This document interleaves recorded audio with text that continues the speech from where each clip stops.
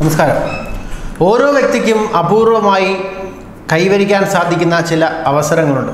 American ജനതയുടെ മുന്നിൽ വീണ്ടും ഒരു തിരഞ്ഞെടുപ്പ് പോരാട്ടത്തിന് ഒരുങ്ങുന്ന ട്രംപിനും അത്തരമൊരു അവസരമാണ് കൈപ്പറ്റിയിരിക്കുന്നത് എന്ന് പറഞ്ഞാൽ ആരും അക്ഷരാർത്ഥത്തിൽ അത് മുഖവിലക്കെടുക്കില്ല പക്ഷേ ഒരു ഭരണാധികാരിയുടെ ക്ഷമയും മനുഷ്യത്വവും വിവേകവും വീണ്ടു വിചാരവും എല്ലാം വ്യക്തമായി മനസ്സിലാക്കാൻ കഴിയുന്ന ഒരു അവസരമായി കണക്കാക്കുവാൻ ഈ സമയത്ത് കഴിയും എന്ന് തന്നെയാണ് ലോകമൊന്നടങ്കം പറയാതെ പറയാൻ ആഗ്രഹിക്കുന്ന വാസ്തവം.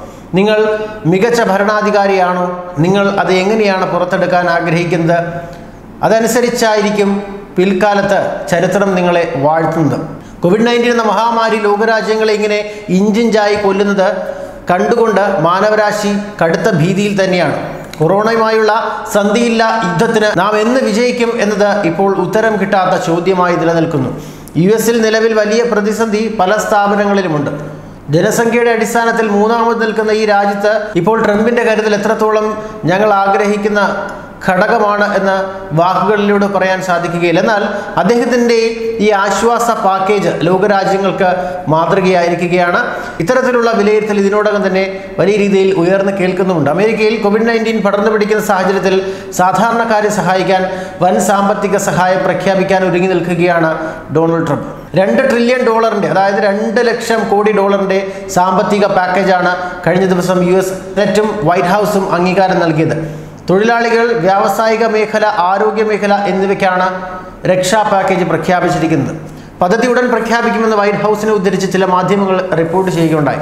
കോവിഡ് നയന്റീൻ പടർന്നു പിടിക്കുമ്പോൾ പല നഗരങ്ങളും ലോക്ക്ഡൗൺ അവസ്ഥയിലാണ് എന്നതും സാമ്പത്തിക സഹായം വേണം എന്നതും വിവിധ കോണുകളിൽ നിന്ന് സർക്കാരിന് മേൽ സമ്മർദ്ദം ഉയരുന്ന ഒരു കാര്യം തന്നെയാണ്. പാക്കേജ് തയ്യാറായി എന്നും അധികം വൈകാതെ പ്രഖ്യാപിക്കുമെന്നും വൈറ്റ് ഹൗസ് ഉന്നത ഉദ്യോഗസ്ഥർ അറിയിക്കുകയും ചെയ്തിട്ടുണ്ട്.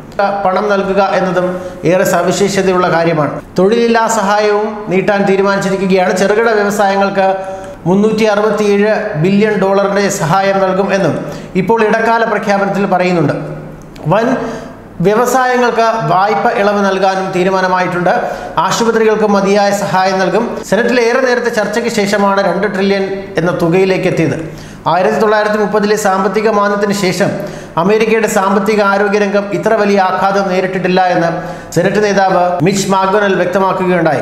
ജനം വിചാരിച്ചിരിക്കുന്നതിനേക്കാൾ വേഗത്തിൽ സാധാരണ നിലയിലേക്ക് ജനജീവിതം തിരികെ എത്തുമെന്ന് പ്രസിഡന്റ് ഡൊണാൾഡ് ട്രംപ് പ്രത്യാശ പ്രകടിപ്പിക്കുകയും ചെയ്തു.